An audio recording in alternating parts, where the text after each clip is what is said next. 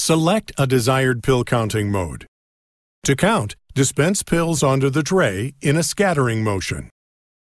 Once the pills are scattered on the tray, use the front tray handle to lift the tray up and down and tap to assure pills spread away from each other. Tapping the tray is required to assure optimum accuracy. Always perform this step even when the result is displayed. If more pills were dispensed onto the tray than needed, use the spatula to place the excess quantity into one of the dispensing tubes. Transfer the excess quantity back into the supply bottle. Confirm the count and tilt the tray to place the pills into the second dispensing tube. If preferred, you can use the long edge of the spatula to sweep the pills from the tray. Transfer the pills to the patient's vial. Use the grooved grips of the tube to slightly open it and release any bottlenecking pressure. Do not dispense the pills onto the tray in a single heap or tight cluster. Heaping or clustering the pills will slow down the counting process.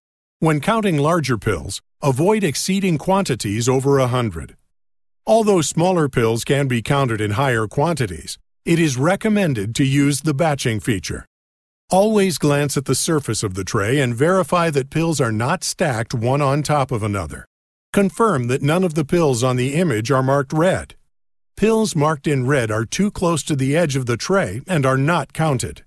Tap or shake the tray until the pills move away from the edges of the tray.